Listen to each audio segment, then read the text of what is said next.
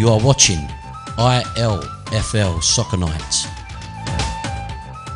Sponsored by Mashu. Ebon Hawk and Eagle.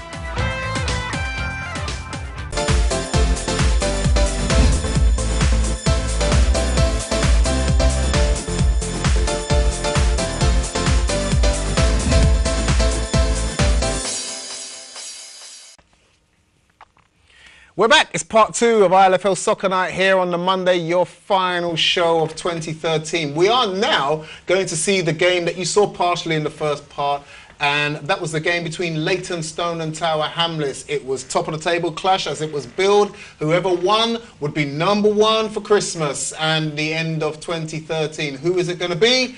Let's see what happened yesterday in the game between Leytonstone and Tower Hamlets. Here we go.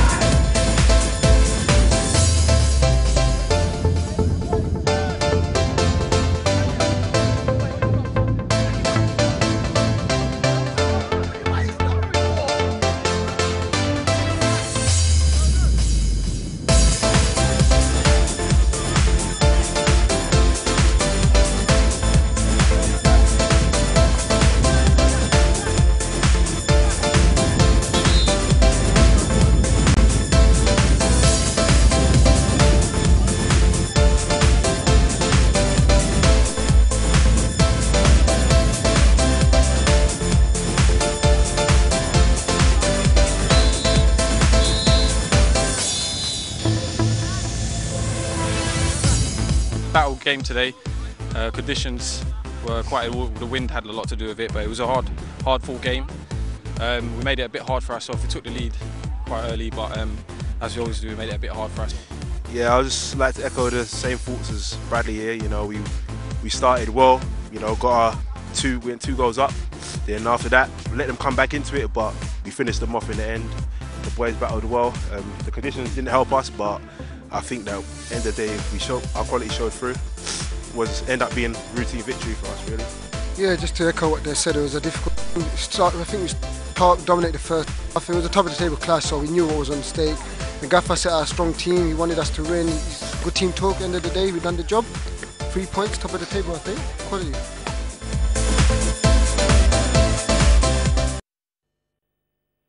So there it was. The winners earned the top spot, and the winners were Leytonstone beating Tower Hamlets by three goals to one. And they've come to join us on the stage. It's like a party. We have two guests uh, from a successful Leytonstone team this season. But I'll talk to you, uh, Omar. Good evening. Thanks for coming in this evening uh, to talk about Leytonstone. Um, how does it feel to be top of the pile now?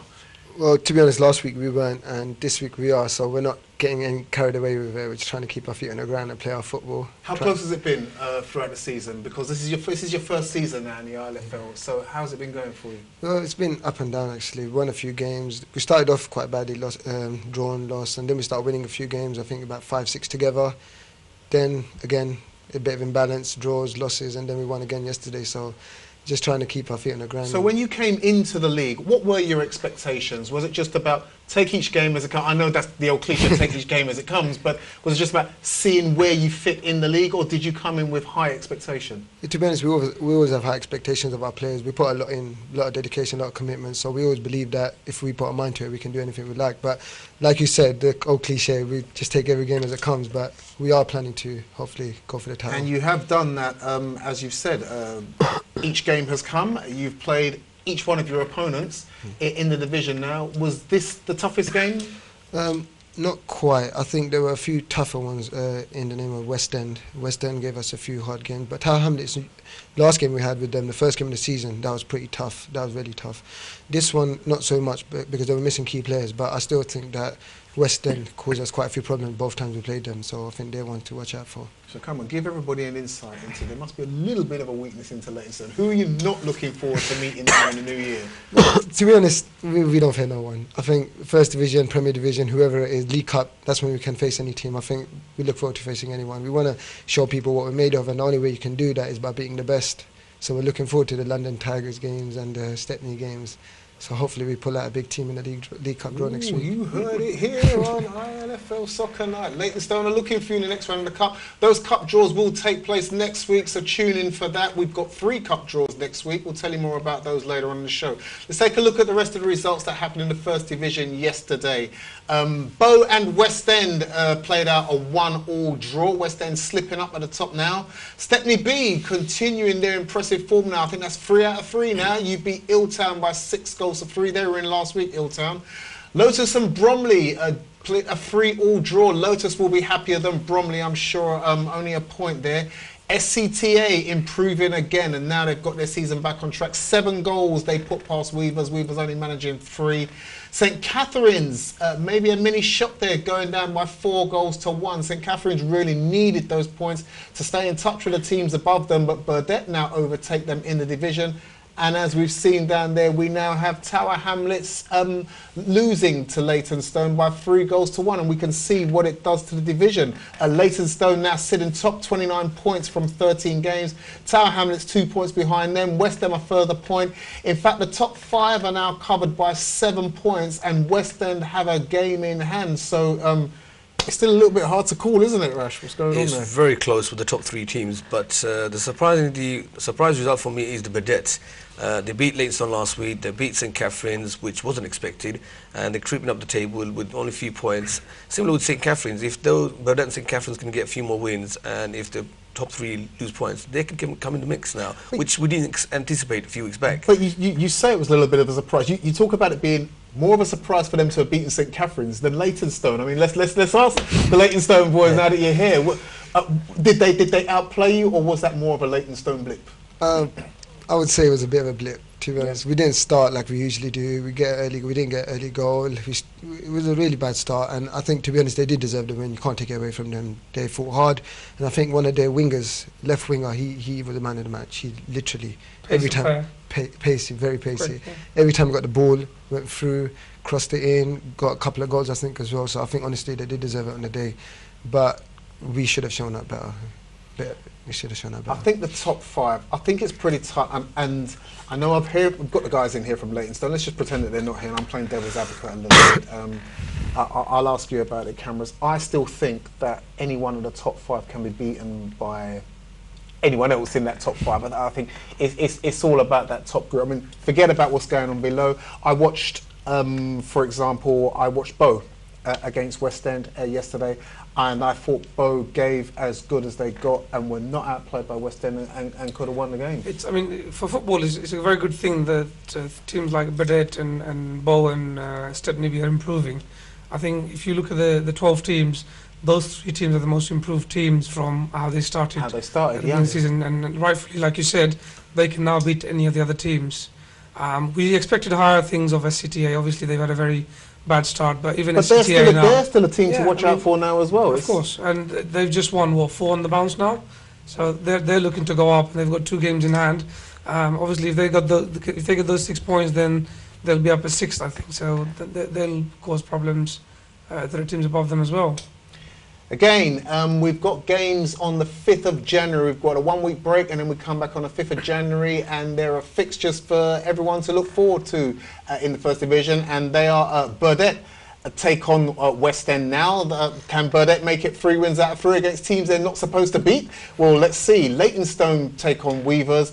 Lotus and Bow have their own fixture. SCTA v Stepney B will be an interesting game again. Uh, two emerging teams, as was just said by cameras. St Catherine's will want to get back to winning ways against Illtown, and Tower Hamlets take on uh, a flagging and failing Bromley Juniors. What's going on with Bromley, Rush? Uh, that should be a good tie actually because the last time round Bromley Juniors actually beat Tower Hamlets so obviously Tower Hamlets got a score to settle. So hopefully that should be a cracking match on the day itself. But Bromley Juniors overall I'm very disappointed. Beginning of the season they're flying high winning a few games and actually we're thinking of the title. And since then week three I think they're going downhill.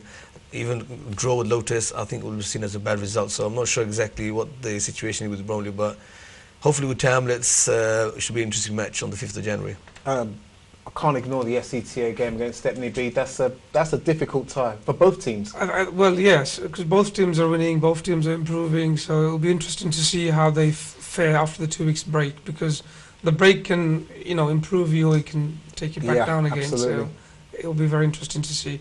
Um, just coming back to Bromley, I mean, yeah, we've been a bit harsh on, on Bromley, but I mean, they've got three clubs in our division, so I think. Um, in that respect, it's quite difficult to maintain one team, let alone three. Alone three. So I, I, I spread think a little bit they, yeah, they, they've obviously spread their players uh, to make sure all three teams are balanced. But if they were to amalgamate and make one team, then I'm sure they'll be flying pretty high. Something different could happen there. Um, the guys from Leytonstone are going to be sticking around for the third section of the show where we will talk about the Veterans League and all things ILFL. So stick around. We have to take another short break and we'll be back after these messages.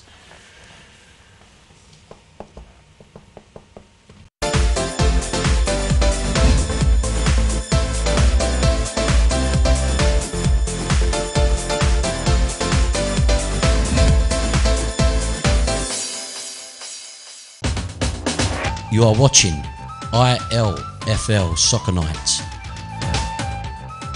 sponsored by Mashuru এবং হোক and eagle